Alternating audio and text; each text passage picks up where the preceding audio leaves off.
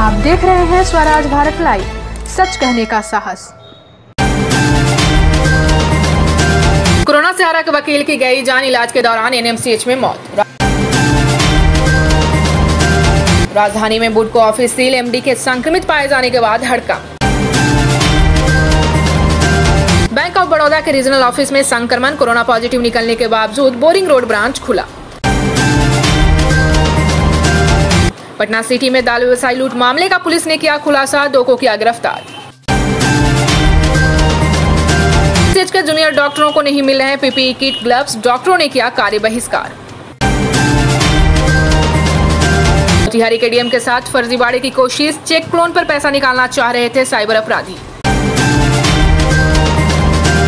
गिरिडीह उपायुक्त ने जिला भू अर्जन गेल इंडिया एवं एनएचआई के साथ किया बैठक, दिया आवश्यक दिशा निर्देश। झारखंड के इस निजी विद्यालय में बच्चों को पढ़ाया जाता है पाकिस्तान और बांग्लादेश का राष्ट्रगान। श्री महावीर मंडल ने मान्यता रद्द किए जाने की की मांग।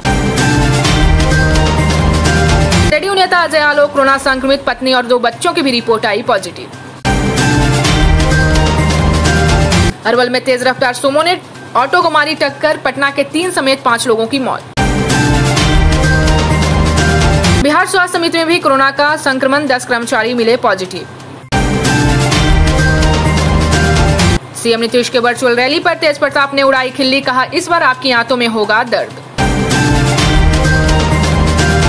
नवादा में उत्पाद विभाग की टीम को मिली बड़ी कामयाबी, ट्रक से सात लाख का शराब बरामद। बिहार में कोरोना के कहर के बीच आज पटना एम्स में होगा वैक्सीन का ट्रायल, चौदह दिन बाद लगेगा दूसरा डोज। पटना में हवाला के बड़े नेटवर्क का खुलासा, बड़े आका तक पहुँचने में जुटी पुलिस।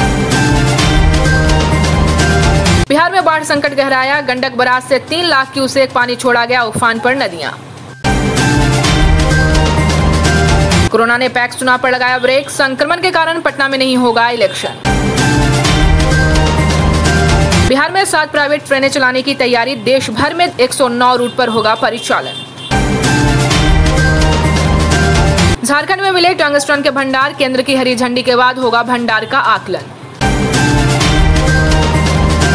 लालू यादव का जेल में दरबार लगाए तस्वीर वायरल होने पर बिहार बीजेपी बोली, यह कांग्रेस की है साजिश। ऐसे अन्य कई खबरों के लिए बने रहे हमारे साथ। अगर आपको वीडियो पसंद आया हो तो लाइक करें, सब्सक्राइब करें, अपने कमेंट्स दें और हाँ बेलाइकन क्लिक करना ना भूलें। धन्यवाद।